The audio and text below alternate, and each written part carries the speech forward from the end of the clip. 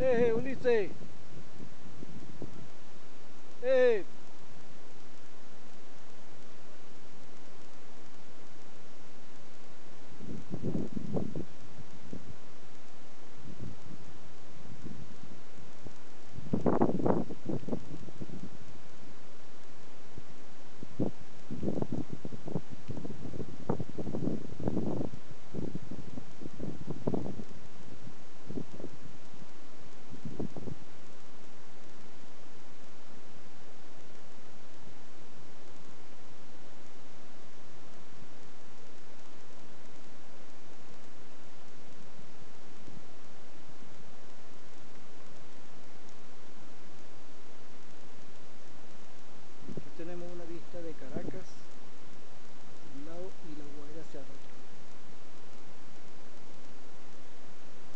para que se enamoren de ella.